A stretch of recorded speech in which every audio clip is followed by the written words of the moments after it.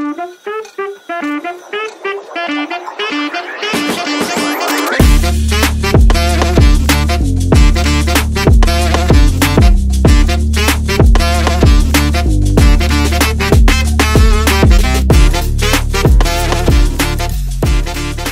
me a little bit about your nutrition. Do you try to make good choices with your food?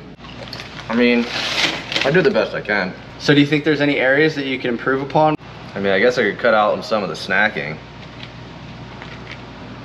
Are you actually gonna eat that? I'll just eat around it.